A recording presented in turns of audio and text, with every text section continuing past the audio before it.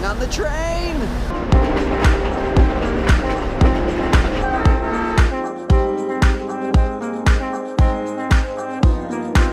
We're on a night bus to Puno, which is Lake Titicaca. And uh, Eric's not feeling so good. But uh, we're gonna sleep. And in the morning, wake up there.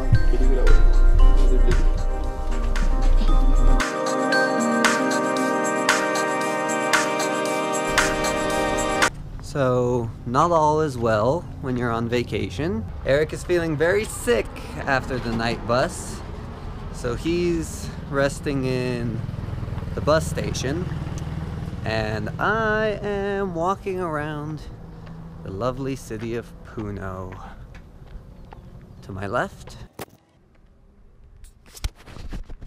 kind of gross, but to my right, that's beautiful Lake Titicaca. So let's see what we can see. And uh, then we'll go get Eric back.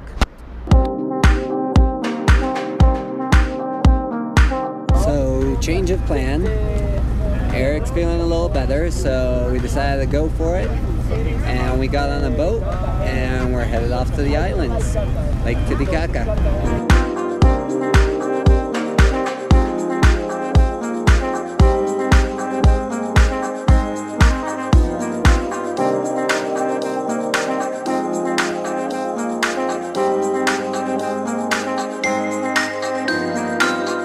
Currently on some of the floating islands. Here's a little uh, diagram of how they build these things.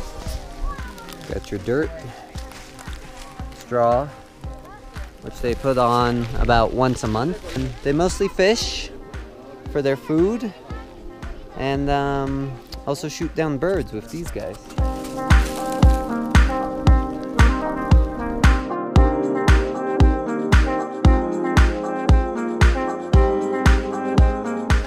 This is Eric. He feels better now. But I don't feel so better.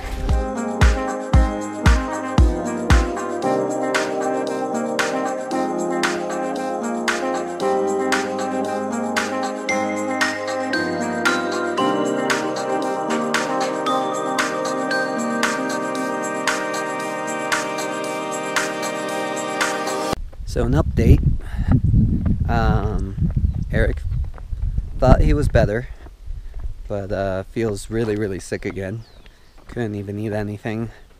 So uh, going down to make a little water run, but it's probably the most gorgeous place you can make a water run.